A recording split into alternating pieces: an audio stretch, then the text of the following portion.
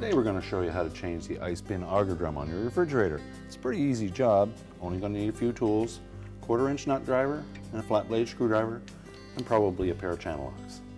Let me show you how to do it. To replace the drum on the auger bin, you first need to shut off the ice maker. Just raise the shut off arm.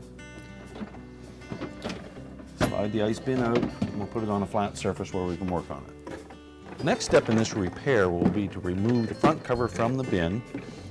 It's held in place by five quarter inch hex head screws, two on each side, and one in the middle just above the auger.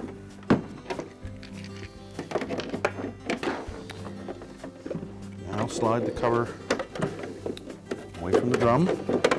Next we're going to remove four more quarter inch hex head screws, two on the inside of the drum and two on the bottom side. This secures the housing to the ice bin.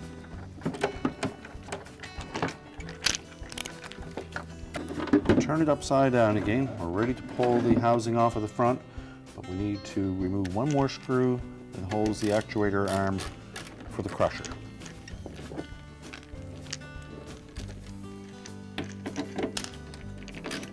Take note of the location of the retaining spring. In case it becomes dislodged, we'll know where to put it back to.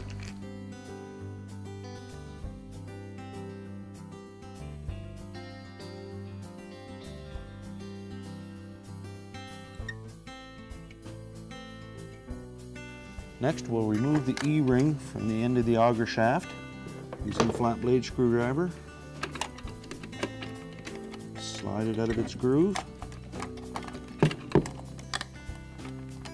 That aside and also remove large flat washer as well. Next, we'll remove the auger from the front housing. Just carefully slide it out. Expose the crusher arms and the assembly.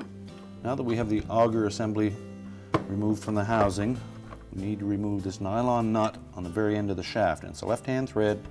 A pair of channel locks work nicely on that.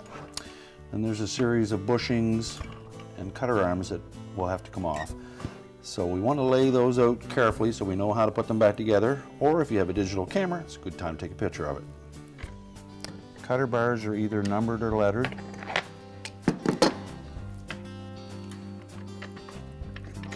Slide the cover off of the drum.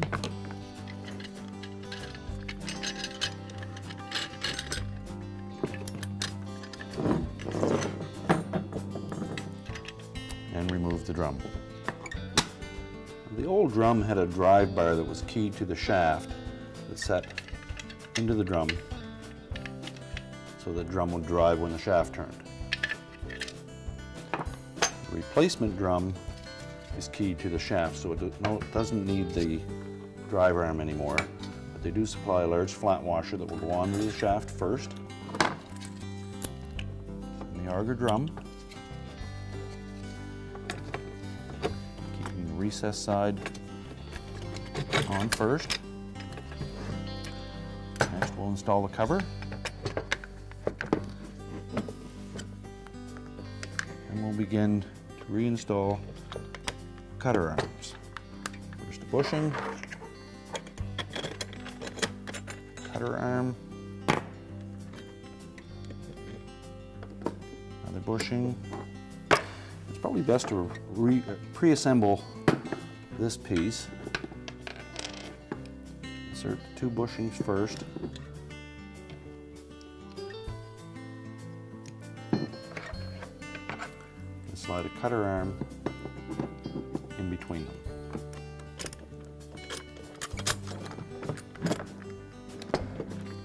Next another spacer,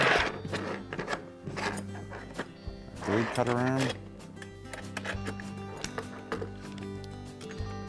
spacer and the retaining nut. Remember that's a left-hand thread. Make sure everything turns freely. I'll tighten the nut with a pair of channel lock pliers. Next, we're going to locate the pin on the fixed cutter bar block near the cover. Line it carefully with the housing. Slides through.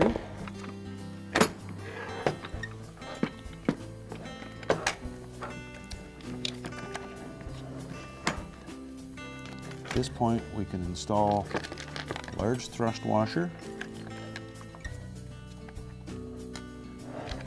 and the E-ring.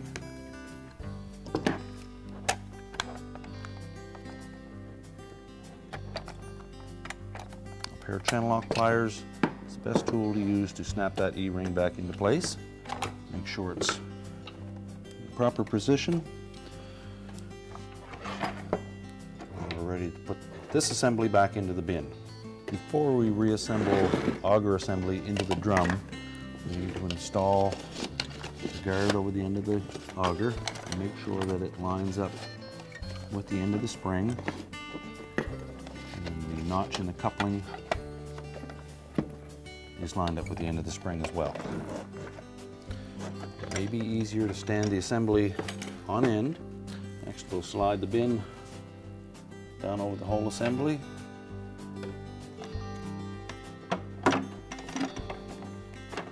Lay it flat.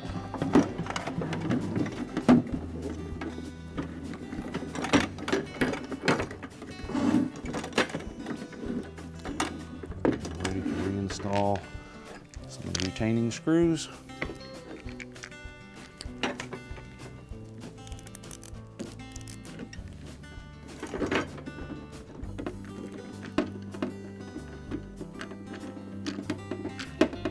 Won't tighten any of the screws until we've started them all. Make sure everything lines up. Next we'll reattach the spring and mounting clip to the crusher arm.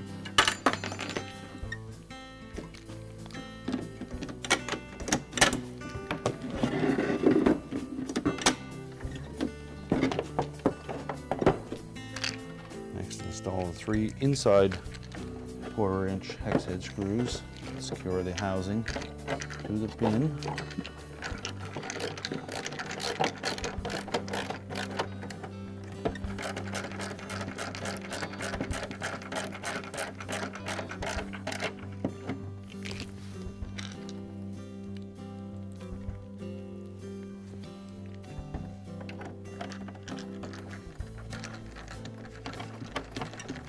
Snug up these screws now.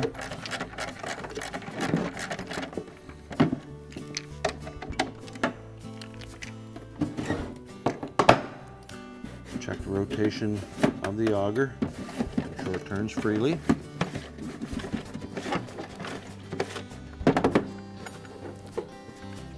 And we're ready to put the front housing on. Install the one screw inside the drum.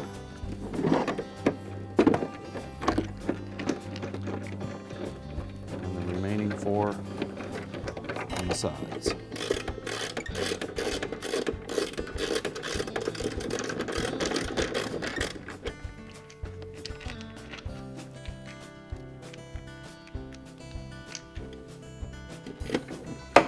Again, we'll check the operation, make sure the auger turns freely. We're ready to reinstall it into the refrigerator. Simply slide the ice bin back on its track. Don't forget to lower the ice maker shut-off arm. And our repair is complete.